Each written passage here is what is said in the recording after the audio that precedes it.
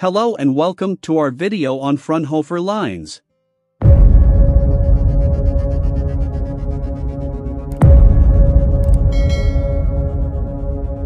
You may have heard of these mysterious absorption lines that appear in the spectra of celestial bodies, but do you know what they are and what they tell us about the universe?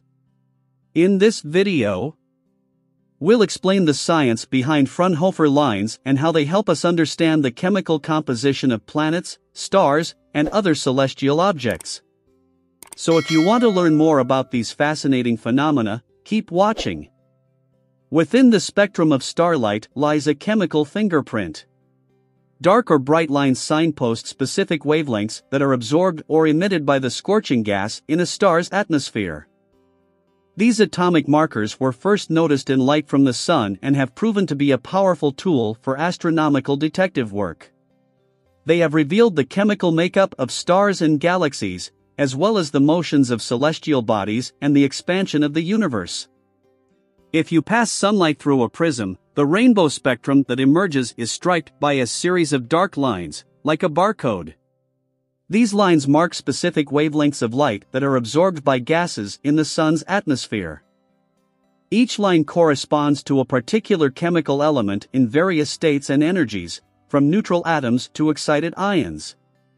By mapping the pattern of the lines, you can determine the chemistry of the sun.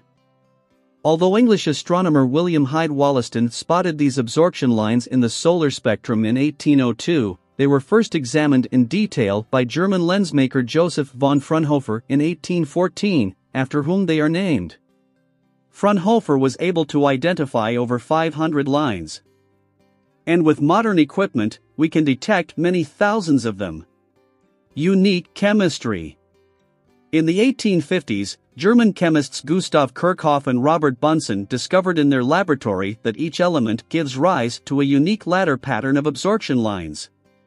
In the Sun, hydrogen is the most common element, and the solar spectrum also shows absorption from many other elements, including helium, carbon, oxygen, sodium, calcium, and iron. Each element has its own unique absorption line barcode the light from other stars also carries chemical imprints. The study of spectral chemistry, known as spectroscopy, is a powerful technique in astronomy because it reveals the material that makes up stars, nebulae, planetary atmospheres, and distant galaxies. Astronomers cannot bring stars and galaxies into their laboratory or travel to them. So they must rely on remote observations and clever techniques.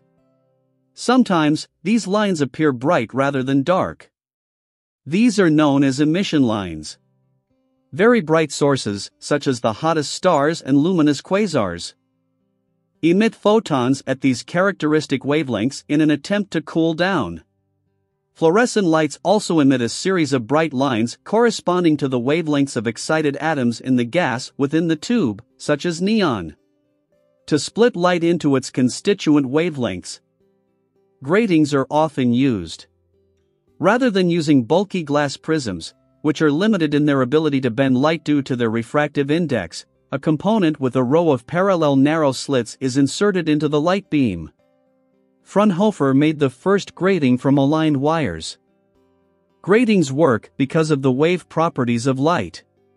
Light passing through each slit in the grid is spread out by diffraction, with the amount being proportional to the wavelength of the light but inversely proportional to the width of the slit.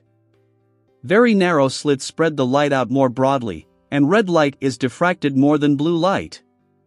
The multiple slits combine the light further using another property, interference.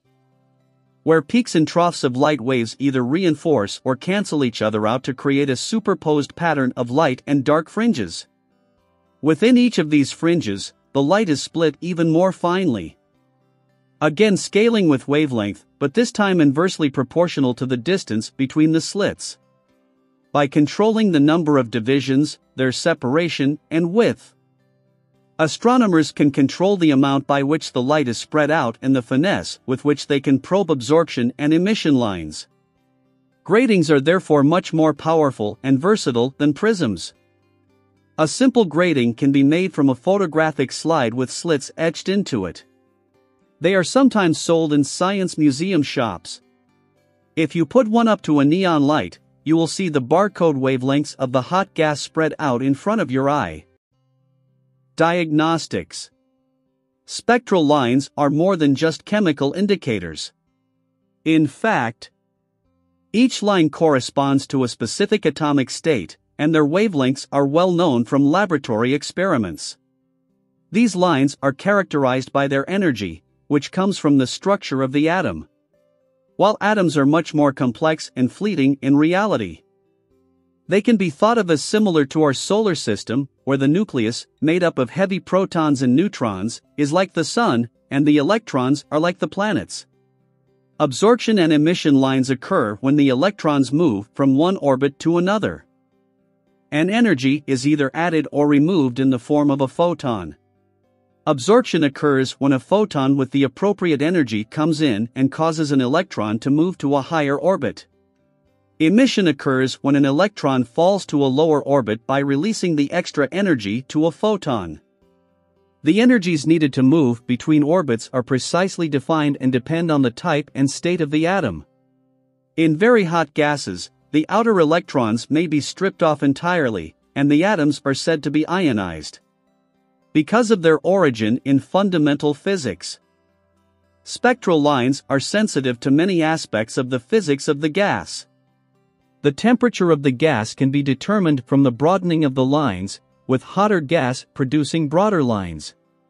The ratios of spectral line strengths can also provide information, such as the degree of ionization of the gas. Another use of spectral lines is to measure the movements of celestial bodies. The wavelength of a particular line is accurately known, so any slight shifts in that line may indicate movement of the source. If the entire star is moving away from us, then its spectrum shifts to the red due to the Doppler effect, if it is moving towards us, then it shifts to the blue. The amount of the shift can be measured by looking at spectral lines. On a larger scale, these redshifts have even revealed the expansion of the universe. In conclusion, Fraunhofer lines are an important tool in understanding the universe. By studying the chemical fingerprint of celestial bodies, astronomers can determine the chemical makeup of stars, galaxies, and planetary atmospheres. These lines also allow us to study the motions of celestial bodies and the expansion of the universe. Spectroscopy is a powerful technique that allows us to study these lines and the material that makes up celestial objects. We hope you enjoyed learning about Fraunhofer lines and the role they play in understanding the universe. Thanks for watching. Please subscribe.